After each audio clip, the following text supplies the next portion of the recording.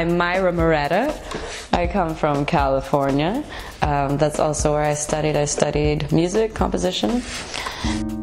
I came to Berlin and I've worked a lot as a uh, as a musician in different areas and I've been teaching a lot of guitar for probably about 10 years or more now. And it's really important to me that the students have a decent instrument. Vedi, ha le corde apposta. Sì, ma questo non è acustico, è un ukulele basso.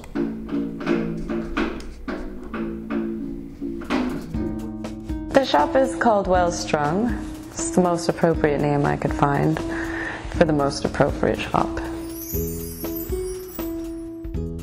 We have customers from all over the world, and um, we're really happy about that because it keeps things interesting. Um, whether they come from Berlin or Spain or Chile, it's always a great experience. And there have been some wonderful musicians that have come by. Um, one piece of feedback we've gotten like repeatedly is that uh, women feel especially comfortable here and I'm happy about that because we're usually women behind the counter. We feel really good when someone tells us that they that they don't come in here feeling afraid or worried that they know they can have uh, answers to their questions or that we'll explain things. And but yeah we're proud that people feel comfortable in our shop and they feel like they can ask anything because that's really what we're here for. I will show you this Larrivée and then you are going to have to play blackbird on.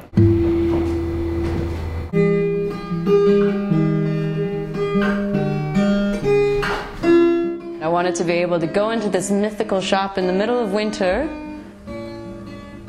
have a cup of coffee, play a bunch of instruments, take a class, sit in a workshop, and learn about new instruments that I've never seen before.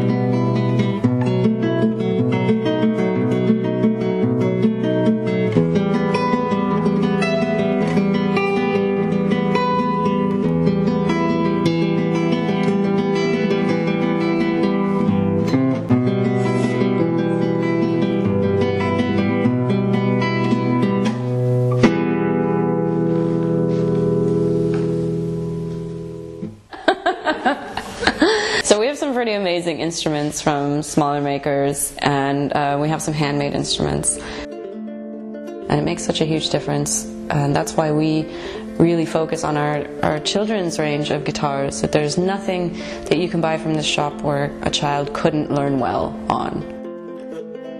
So you know when you come here, if you're looking for a student guitar, you're going to find the best student guitar for that price ever.